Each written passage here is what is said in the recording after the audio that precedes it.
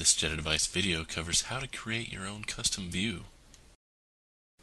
From your JetAdvice dashboard, mouse over Views, then click on Custom. The Custom page shows you the previously created views and also a Create New button to start creating your view. Select the Create New button to get started. One of the first things we are going to do is name our view. Then add a brief description. And press Update Settings to save changes as you go. Now let's set up our custom view.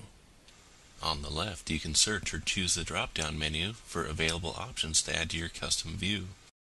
To find out more about a field, click the name, and a basic description of the view will appear under the field description so you know what you're adding. On the right, you can see what selections have been added. The second column allows you to associate color to better differentiate the sections by color. Clicking the available color will change it to the next color option from white to green to red to blue. The third column allows you the option to remove a selection you have added by pressing the X. A good thing to know is if you have all the selections you want and need to reorder them, you can just click and drag them into the order you desire. Let's move the serial number up a spot. At any time, you can get a live preview of your custom view by pressing Go to this view. Here this shows you your custom view you are creating. To go back, you can select the Edit button at the top of your page. Let's create a new custom view. We want to know about our mono print usage print speed of the device, and the pages per month to get an idea how the devices are being used. Under Available Fields, choose Basic Counters.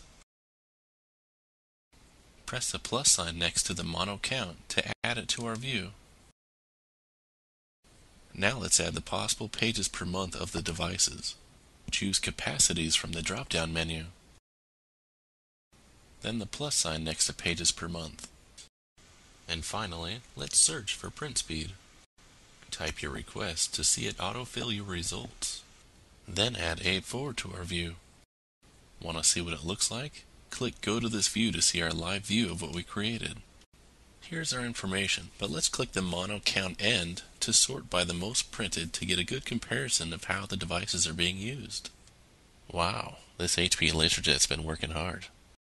Let's go back and edit our view by adding colors to our fields to differentiate the data more clearly.